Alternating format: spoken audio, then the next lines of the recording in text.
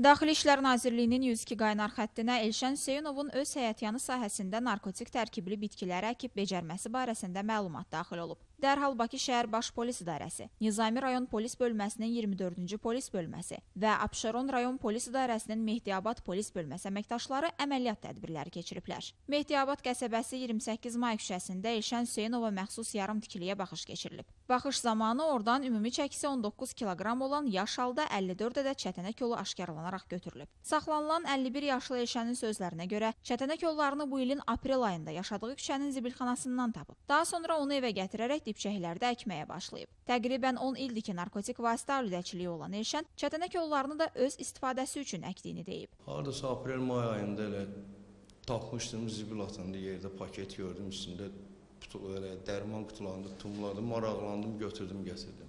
Sonra gördüm çətinə tumdu, bir dənə əkdim. Sonra iki dənə elə belə-belə özüm üçün çəkəniyəm bunu. Başa düşürdüm.